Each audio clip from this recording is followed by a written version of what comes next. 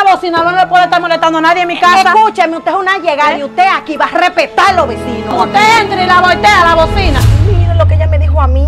Una cosa que yo soy un palo de fósforo que de una vez prendo. ¿Y qué le dijo? Ay, di que usted se ve que usted es la vecina que de una vez viene a molestar. Pero venga acá, ¿y esa bulla que usted tiene en el barrio? Ajá, música prendía. También hablar con la vecina a ver si ella no empieza a bajar ese radio. Ahora la voy a poner ahí en la calle, que se terminen de explotar los vecinos. Pero ven aquí, ¿qué es esto? Sí, pero tengo un poco de piedad que, que mi esposo está enfermo, vecina, por favor. Pues si él está enfermo, llévelo para el hospital entonces. Es verdad que cuando uno no busca los problemas, los problemas llegan a uno, pero ella me va a conocer a mí. Esa bocina la bella pagar.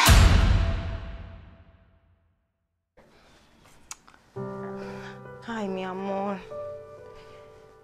Ay, Dios mío, todavía tiene fiebre. Mi negro, mi amor, despierta. ¿Cómo tú te sientes? Dime. ¿Qué te duele? Dime. ¿Mm? Ay, Dios mío, pero tú estás sudando. Vamos para el médico, mi amor.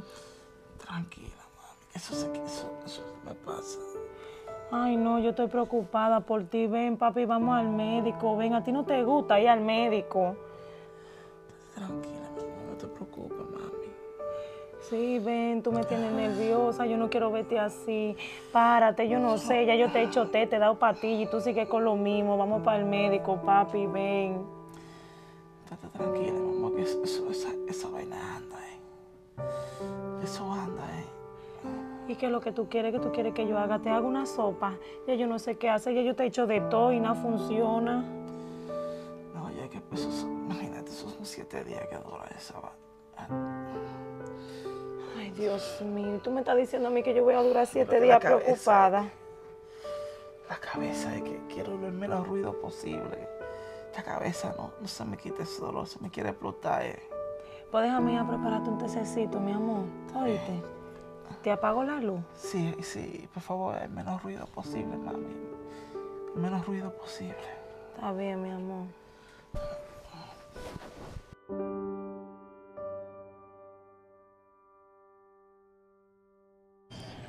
Mira, esa es la vecina que se mudó allá abajo. Ay, sí. Saludos, vecina. Hola, ¿cómo tú estás? Bienvenida al barrio. Cuando vine a ver fue que no nos escuchó.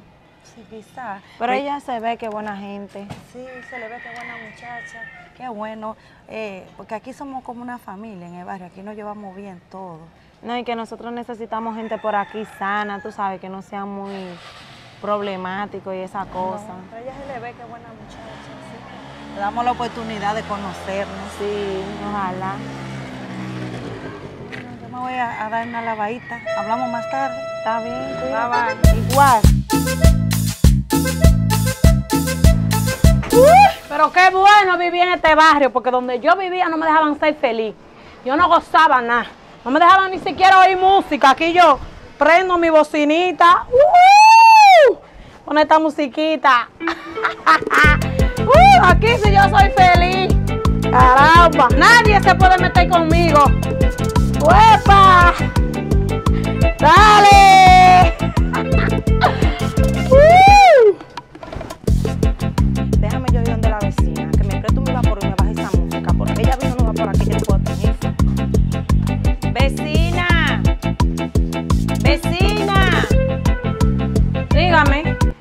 hola vecina. Eh, mire, yo vine por dos cosas. Primero, para que me haga el favor de prestarme un Vivaporú. Y después, si usted es tan amable, bájele el volumen de la bocina, que es que tengo a mi esposo enfermo. Pues mire que yo le voy a decir algo, dos cosas nada más le voy a decir. Es muy rápido para que usted venga a estar buscando medicamento a mi casa, porque las mujeres así como ustedes, la vecina así como usted, le gustan como pedir mucho y molestar mucho, ¿verdad? Y segundo, esta que está aquí no va a bajar la bocina, ¿sabe por qué? Porque me mudé del barrio donde vivía, porque no me dejaban oír mi música. Y no es la verdad que usted va a venir a quitarme mi gusto, mi deseo, donde yo pago mi casa aquí, a que yo le baje música. Usted está muy equivocada. Vaya para otro lado a molestar, que no anden esos sentimientos con nadie. Voy a escuchar mi música y no quiero, no quiero problemas con los vecinos mudándome nueva, ¿eh?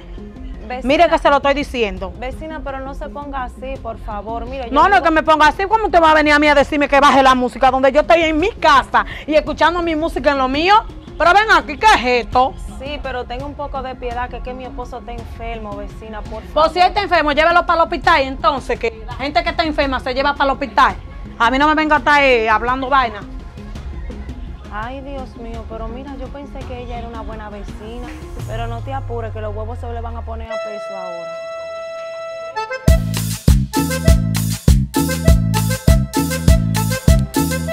Vecina, mire, le tengo que decir una cosa. ¿Qué pasó? Ay, pero yo tengo un pique arriba. ¿Pero qué fue? Mire, usted va a ver la vecina nueva.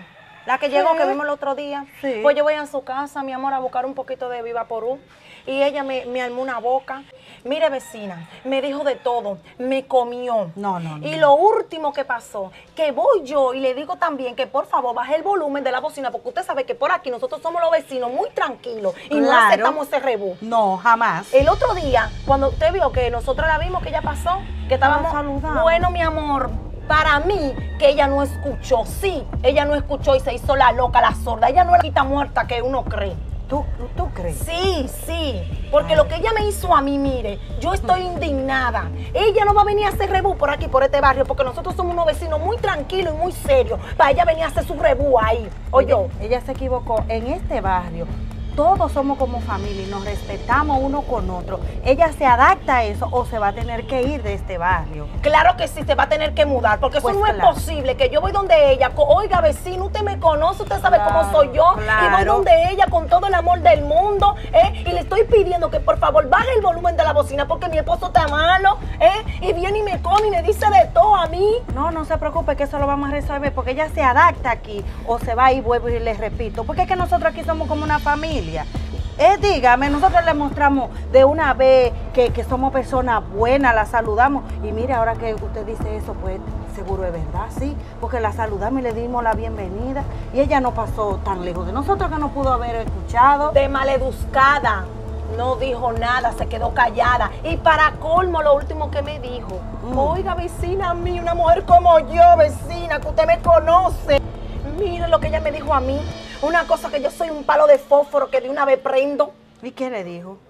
Ay, de que usted se ve que usted es la vecina que de una vez viene a molestar y yo no tengo mucho viviendo aquí, ya usted viene a pedir. Oiga, vecina, a mí me dijo eso ella. No, porque ella no entiende que nosotros somos como una familia y nosotros aquí nos ayudamos uno con otro. Y si ella no está dispuesta a, a ceder y si ella no está dispuesta a ser como nosotros somos, pues se va de este barrio. Pues que se vaya.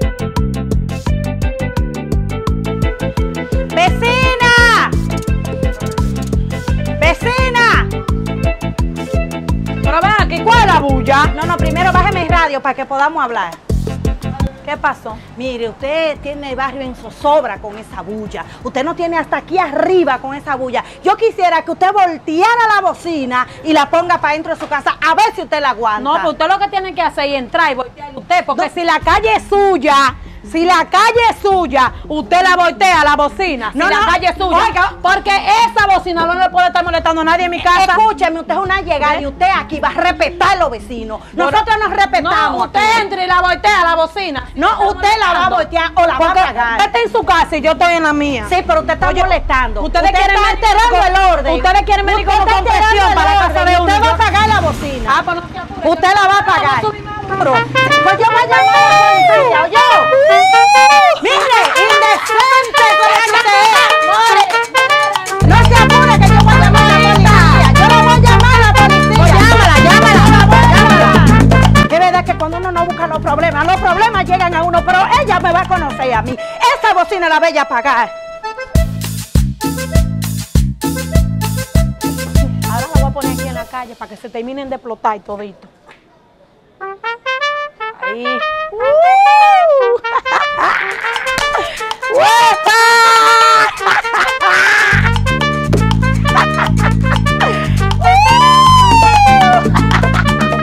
¡Para que explote!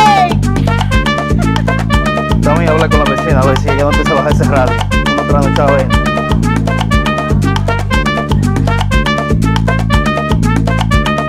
Vecina, disculpe, bájela por favor. Dígame a ver, doctorcito, ¿qué se le ofrece a usted? Vecina, usted, ta- usted, usted sabe bien que yo trabajo matutinamente, entonces usted me pone esa bocina por la mañana, sí, usted sabe que es mi hora de descanso. Baja esa Bueno, bocina, usted por está favor. feo. váyase a descansar por otro lado, porque esta bocina nadie me la va a pagar. A mí nadie, no, no, esos sentimientos, nadie me va a pagar la, la música. Vecina, no, no, disculpe, vecina, por favor, baja- vecina, mira. ¡Uh! Vecina. Vecina, disculpe, vecina. Vaya con Dios, Vecina, por Vaya con Dios, a hacer su matutineo, que no te eso. Vecina, mira, este es un barrio tranquilo, vecina. Desde que usted se mudó, vecina, usted ha aprendió ese barrio, vecina. Acostúmbrese, vecina. Desde que usted se mudó, ese barrio se dañó. Sí, pues está bien. el barrio, pues, vecina. Múdese usted para la urbanización, que allá no se oye bulla. Pero vecina, disculpe, vecina, yo estoy hablando con usted, vecina. A mi casa, por favor. Pero dígame, dígame, Por porque favor, dígame, ¿qué es lo que usted quiere? Vecina, necesito usted me baje, por favor, esa música. Es que yo le dije que yo no voy a bajar la música, le dije que no ya, que no, eh. Váyase de ahí, hágame el favor, váyase de ahí. Vecina, usted parece, usted parece una persona decente, vecina, por Dios. Oye, todo el ¿Cómo mundo fue? ¿Cómo que, fue? que usted parece una mujer decente. Pues está bien, como yo soy indecente, váyase de ahí, hágame el favor. Vecina, lo que pasa es que necesito descansar porque me toca amanecer Pues nuevamente. está bien, yo la bajo ahora, váyase, váyase, váyase de ahí. Pero Dios mío, ven acá, ¿y qué bulle que es? Vecina, venga acá, hágame el favor.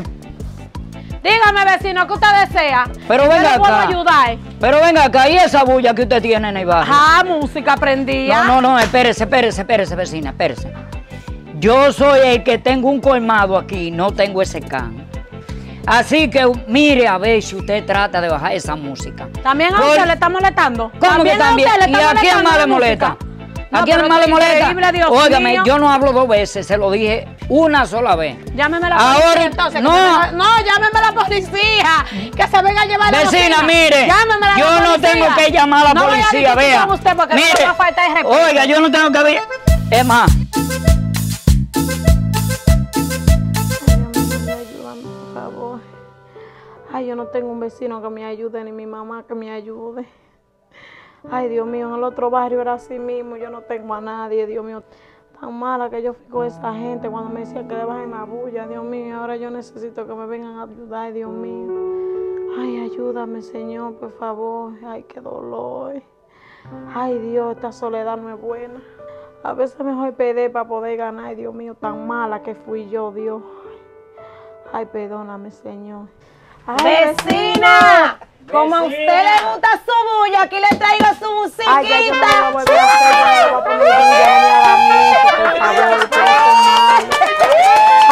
yo no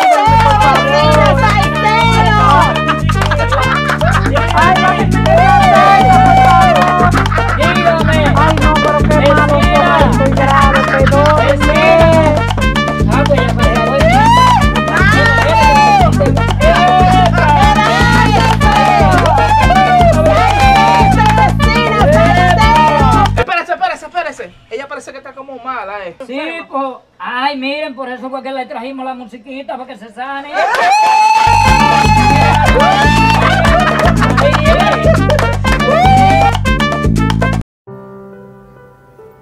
Nunca hagas lo que tú no quieres que te hagan a ti. Esta vecina, la gente tenía una buena expectativa acerca de ella porque se había mudado nueva. Sus vecinos pensaron que ella iba a ser una buena vecina, que iba a representar el barrio, no como muchos que en vez de respetar, lo que se ponen es a irrespetar en el barrio, a vivir desordenadamente. Pero cuando ellos se dieron cuenta que esta vecina no era lo que aparentaba, tuvieron que poner mano dura sobre ella.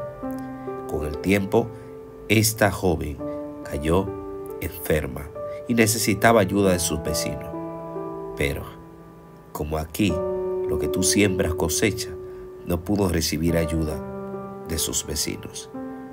Piensa bien siempre antes de actuar. Cuando alguien te pide una ayuda, no le cierres la puerta, ayúdalo, porque tú no sabes si en algún momento esa persona tú la vas a necesitar. Ella pensaba que no necesitaba ayuda de nadie, pero en un momento determinado se dio cuenta que necesitaba a sus vecinos. Espero que esta reflexión sea de bendición para tu vida y que tú la puedas compartir con alguien más. Que Dios te bendiga, que Dios te guarde y recuerda seguir viendo nuestro video en nuestro canal de YouTube también. Dios te bendiga y Dios te guarde.